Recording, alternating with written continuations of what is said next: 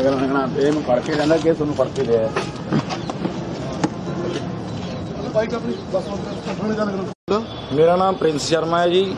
ਮੈਂ ਮੋਗੇ ਦਾ ਰਹਿਣ ਵਾਲਾ ਜੀ। ਮੈਂ ਦਲਜੀਤ ਸਿੰਘ ਜੋ ਕਿ ਪਿੰਡ ਕਿਹੜਾ ਪਿੰਡ ਜਲਾਲਾਬਾਦ ਦਾ ਰਹਿਣ ਵਾਲਾ ਵਾ। ਇਹਨੂੰ ਮੈਂ ਪੈਸੇ ਦਿੱਤੇ, ਇਹ ਕਹਿੰਦਾ ਤੁਹਾਨੂੰ ਮੈਂ ਸਿੰਗਾਪੁਰ ਲੈ ਕੇ ਜਾਊਂਗਾ। ਕਹਿੰਦਾ ਕੋਈ ਟੈਨਸ਼ਨ ਵਾਲੀ ਗੱਲ ਨਹੀਂ, ਤੁਹਾਡਾ ਸਾਰਾ ਕੰਮ ਕਰੂੰਗਾ। ਕਹਿੰਦਾ ਮੈਂ ਜ਼ਿੰਮੇਵਾਰ ਹਾਂ, ਇਹੋ ਜੀ ਕੋਈ ਗੱਲ ਨਹੀਂ, ਇਹਨੂੰ ਪੈਸੇ ਦਿੱਤੇ 2.5 2.5 3 ਲੱਖ ਰੁਪਇਆ ਦਿੱਤਾ। ਫਿਰ ਸਾਨੂੰ ਇਹ ਪੂਨੇ ਲੈ ਕੇ ਗਿਆ ਜੀ। ਕਹਿੰਦਾ ਤੁਹਾਡਾ ਉੱਥੇ ਸਕਿੱਲ ਹੋਊਗਾ। ਇਹ ਉੱਥੇ ਜਦੋਂ ਅਸੀਂ ਸਕਿੱਲ ਵਾਲਿਆਂ ਦੇ ਪਹੁੰਚੇ, ਸਾ- ਉੱਥੇ ਇਹ ਸਾਨੂੰ ਕਹੇ ਉੱਥੇ ਜਾਓ ਜੀ, ਉੱਥੇ ਜਾਓ। ਉੱਥੇ ਅਸੀਂ ਆਪ ਟੈਕਸੀ ਕਰਾਈ, ਸਾਰਾ ਕੁਝ ਕਰਾਇਆ, ਉੱਥੇ ਪਹੁੰਚੇ ਜੀ ਅਸੀਂ। ਫਿਰ ਜਿਹੜੀ ਯੂਨੀਵਰਸਿਟੀ ਇਹਨੇ ਦੱਸੀ ਸੀ, ਉੱਥੇ ਗਏ, ਅਸੀਂ ਅੰਦਰ ਗਏ।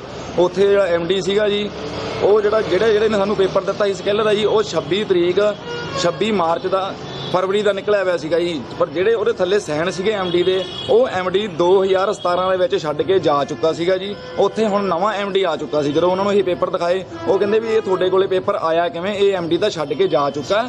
ਵੀ ਇਹ ਤੁਸੀਂ ਸਾਡੇ ਨਾਲ, ਵੀ ਸਾਡੀ ਯੂਨੀਵਰਸਿਟੀ ਦਾ ਨਾਮ ਬਦਨਾਮ ਕਰੀ ਜਾਂਦੇ ਤੁਸੀਂ ਫਰਾਡ ਬੰਦੇ ਹੈ ਉਹ ਕਹਿੰਦੇ, ਤੁਹਾਨੂੰ ਅਸੀਂ ਅੰਦਰ ਫੜਾਉਣੇ ਥਾਣੇ ਪੁਲਿਸ ਬੁਲਾਉਣੇ ਅਸੀਂ ਕਿਹਾ ਜੀ, ਬੁਲਾ ਲਓ, ਕੋਈ ਇਹੋ ਜੀ ਗੱਲ ਨਹੀਂ ਕੀ ਤੇ ਉਹ ਫਿਰ ਵੀ ਅਸੀਂ ਉਹਨਾਂ ਨੂੰ ਦੱਸਿਆ ਜੀ ਸਾਡੇ ਨਾਲ ਤਾਂ ਆਪ ਫਰਾਡ ਹੋ ਗਿਆ ਜੀ। ਉਹਨਾਂ ਨੂੰ ਮਿਹਨਤਾਂ ਮੁਹਨਤਾਂ ਕੀਤੀਆਂ ਜੀ, ਅਸੀਂ ਤਾਂ ਮਸਾਂ ਉੱਥੋਂ ਛੁੱਟ ਕੇ ਆਏ।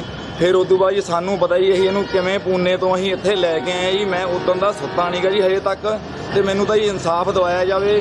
ਮੇਰਾ 3.5 ਲੱਖ 3 ਲੱਖ ਰੁਪਈਆ ਲੱਗਿਆ ਜੀ ਮੈਨੂੰ ਮੇਰਾ ਦਵਾਇਆ ਜਾਵੇ ਜੀ ਬਸ। ਕਿੰਨੇ ਮੁੰਡੇ ਸੀ ਤੁਸੀਂ? ਅਸੀਂ 8 ਮੁੰਡੇ ਸੀਗੇ ਜੀ। 8 ਮੁੰਡੇ ਆ। ਨੇ ਠੱਗੀ ਮਾਰੀ ਆ ਔਰ ਏਜੰਟ ਜਿਹੜੇ ਹੈਗੇ ਨੇ ਉਹ ਉਹਨਾਂ ਨੂੰ ਪੂਨੇ ਚੜਾਉਣਾ ਤੇ ਲੈ ਗਿਆ ਤੇ ਪੂਨੇ ਤੋਂ ਹੀ ਬੰਦੇ ਜਿਹਨਾਂ ਨੇ ਠੱਗੀ ਵੱਜੀ ਉਹਨੂੰ ਇੱਥੇ ਵਾਪਸ ਲੈ ਕੇ ਆਏ ਸੀਗੇ।